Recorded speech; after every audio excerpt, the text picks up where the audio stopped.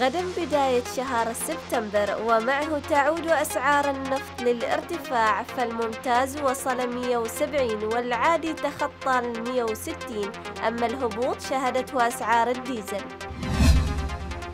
شهد سوق إبرة الشعبي صباح اليوم كثافة سكانية من قبل المواطنين والمقيمين وذلك لاستعداداتهم باستقبال عيد الأضحى المبارك.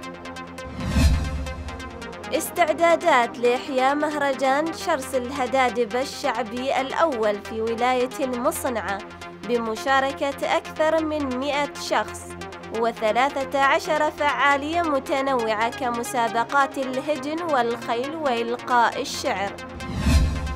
اللاعب البرازيلي فرناندو لحظة وصوله إلى مطار مسقط الدولي فجر اليوم لتوقيع العقد والانضمام إلى نادي الشباب الرياضي.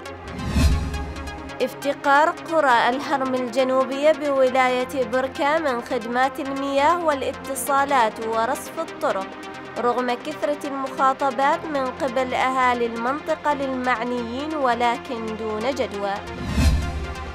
حفل تتويج الختامي لمسابقة رقصة البرعة والتي تأتي ضمن فعاليات مهرجان صلال السياحي. تحت رعاية سعادة عبد الله عقيل أحمد آل إبراهيم القائم بأعمال نائب محافظة ظفار